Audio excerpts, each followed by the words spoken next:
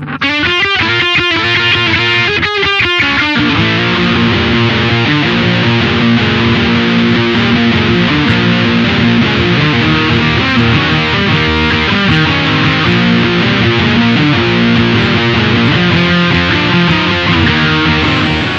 we're gonna leave Cobh, we're gonna go uh, to our study area outside Roches Point. So I hope if the weather is fine, we're gonna work somewhere here, maybe four or five kilometers outside Roches Point. This is Roches Point. Okay, so we're gonna go somewhere around this area.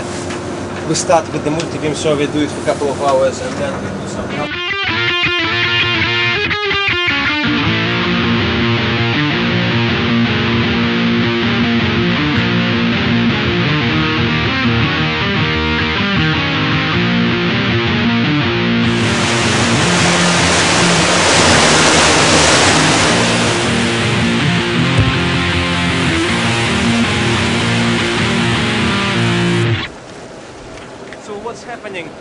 Survey? The fish is flying over the seabed and it's same principle as during multi-beam survey. It illuminates some acoustic signal which goes at an angle towards the seabed and then it returns back through this cable go to your computer system. Okay? It's on a backscatter. There's no bathymetrical data because it's not possible of knowing the precise depth where you're at. Like so basically it's used only for mapping seabed sediment types or for identifying some objects on the seabed. For example, shipwrecks or any other archaeological objects.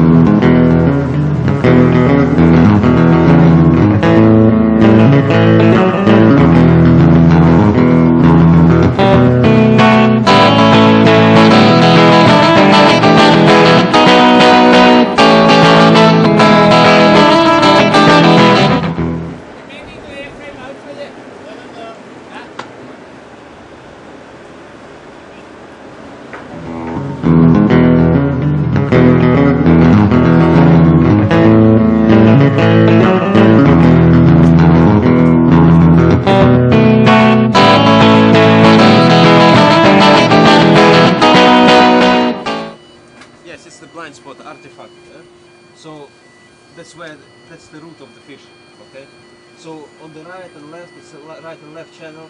So that's what you see on the right and left from the fish. At the moment, we don't see much because we're still seeing the water, or the noise. So At 25 meters now. right, we're nearly at we're at 57 meter water level. And over here.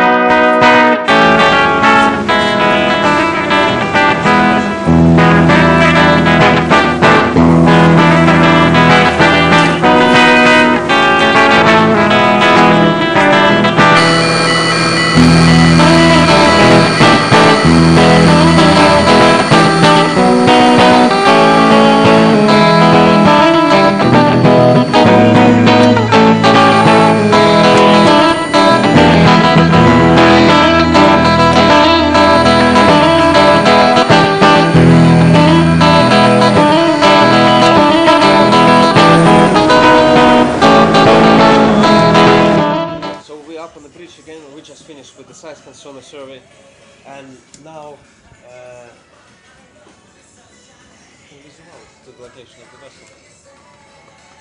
Right, this is the location of our vessel. This is the Roches Point cove there. Yeah? So you see we went quite a distance from the Roches Point. Now we're gonna I'm gonna show you how we use day grab, another sampling equipment. Then we're gonna use a uh, box core and then probably continue take more Shipek grabs and then once we come in the middle of the channel here where there's most probability that there's some sufficient se- uh, thickness of sediments then we're going to test the gravity for. we're located about 25 kilometers off the Roches Point and we're heading back towards Cork um, to continue with our, our ground truthing survey using grab samples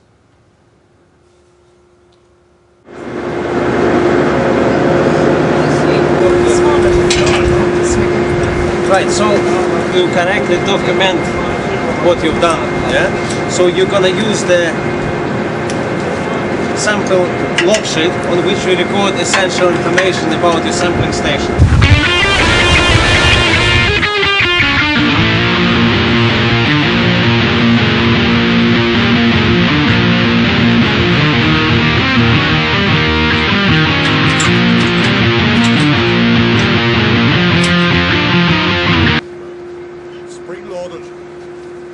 Will take your hand off, guaranteed.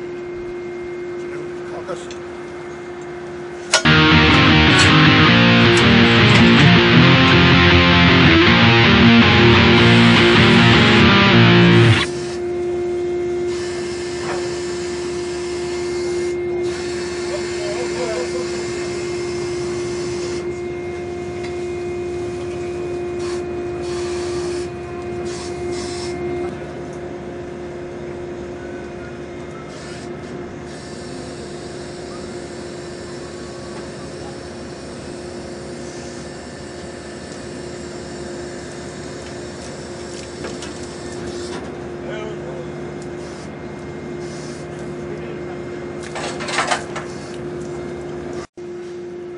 sampling equipment, we say Shipek grab.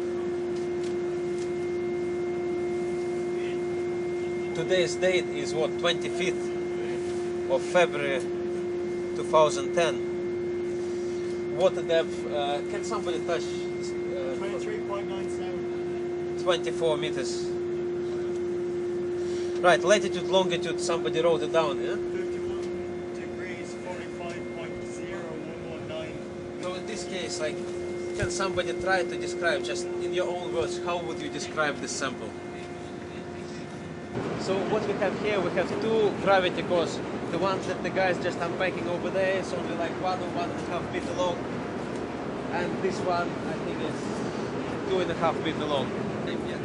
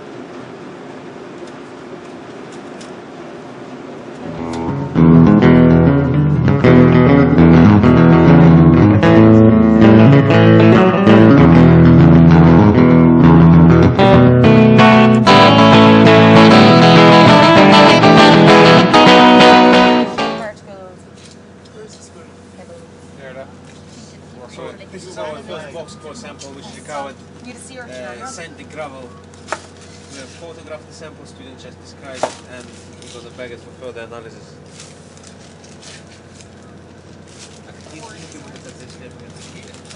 Use the hands. Brownie green. Ready.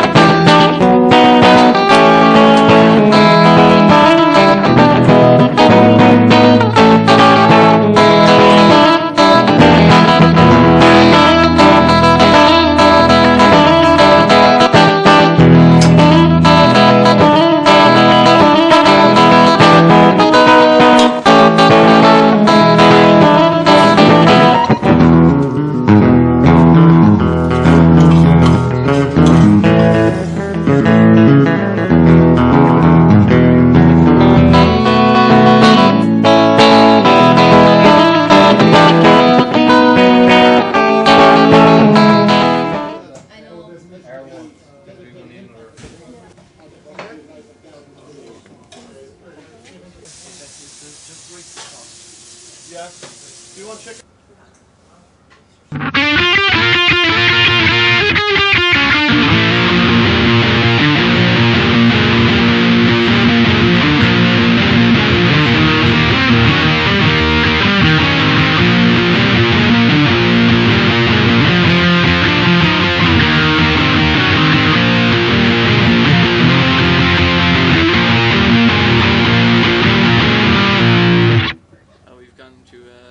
Techniques that we have studied in theory back in the college and in the labs, and now put into practice with the use of the SVP to begin with to get a, uh speed philosophy uh, starting off today, going into multi-beam, seeing the different layouts of the beds, um, overlapping to get a proper readout as the distance further out on the beam is a bit weaker.